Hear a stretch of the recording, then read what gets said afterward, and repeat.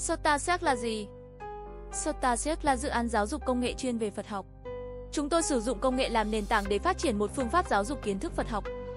Ngôn ngữ Pali theo một cách thức mới mẻ, đơn giản, dễ hiểu, dễ tiếp thu, mang tính tương tác cao. Sotasearch còn là công cụ hỗ trợ tiếng Pali mạnh mẽ để giúp tạo lập các nhóm dịch thuật kinh điển, dịch thuật chú giải, dịch thuật sách, tương tự như Google. Sotasearch cũng là cổng thông tin tìm kiếm thông các trang web Phật học có chọn lọc, đúng chánh pháp. Các kế hoạch phát triển Sotasearch giai đoạn 1, hoàn thành các công cụ tra cứu kinh điển, tìm kiếm toàn văn, chia sẻ kiến thức ngôn ngữ Pali. Giai đoạn 2, phát triển cổng tìm kiếm thông tin Phật giáo. Giai đoạn 3, phát triển các công cụ, phần mềm giúp soạn bài giảng, quản lý lớp học, tổ chức các lớp học trực tuyến. Giai đoạn 4, phát triển các công cụ chuyên biệt để giáo dục kiến thức Phật học. Giai đoạn 5, kiện toàn lại các chức năng, công cụ đã phát triển,